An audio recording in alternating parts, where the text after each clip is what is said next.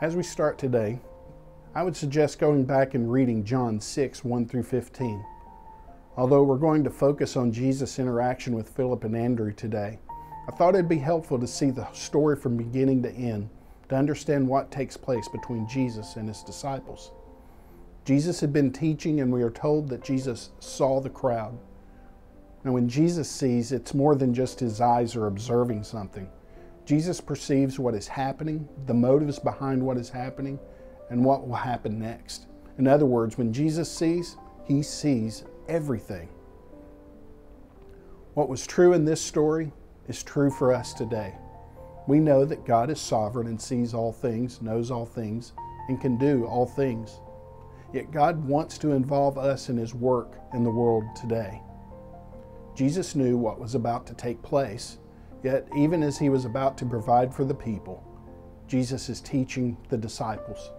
He engages Philip and asks him in verse 5 Where are we to buy bread so that these people may eat? John tells us in the very next verse why Jesus asked the question. The purpose of the question was not to find out information on how to address the issue of food. The purpose of the question was to help Philip find out where he was at spiritually, to test him. This idea of testing is found throughout Scripture. In Genesis 22 1, Abraham's faith was tested when God asked him to sacrifice his son Isaac. In Judges, we're told that God tested the people of Israel through the other nations that were around them. Psalm 11:5 says, "The Lord tests the righteous and the wicked, and the one who loves violence, his soul hates." God's testing is to reveal truth and to offer people the opportunity to pass the test. Philip did not pass the test. It appears he didn't consider the spiritual aspect of Jesus' question. Philip appears to just consider the practical, so he gives a practical answer. In essence, Philip says eight months' wages wouldn't give everyone a bite of food. More often than I hate to admit, I can be like Philip. I can get so locked into the situation that I just see the practical and not the spiritual work that is going on around me. You see, God uses everyday events and activities around us to shape and transform us into being more like Christ. We must be sensitive to the Holy Spirit and look for God at work around us. Now, contrast Philip's response to that of Andrew's.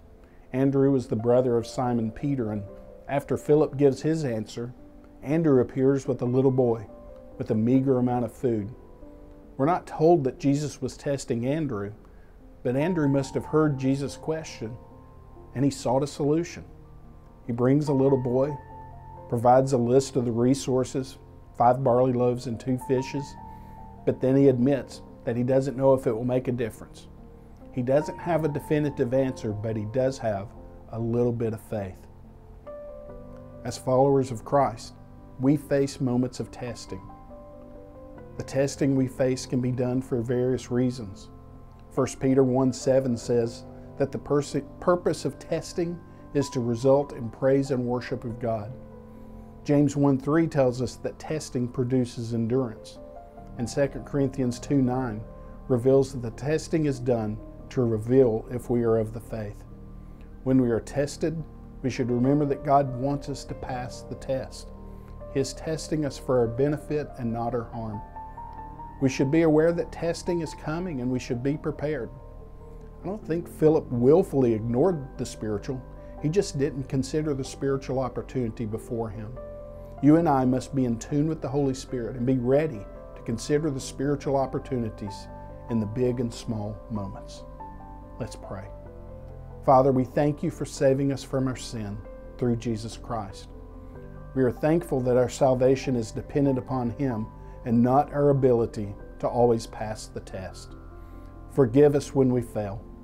Help us to be mindful of our faith and depending upon you and not ourselves. Help us to grow in our faith by entrusting more and more to you and depending upon you.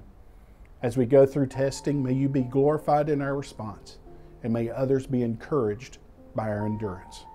Amen.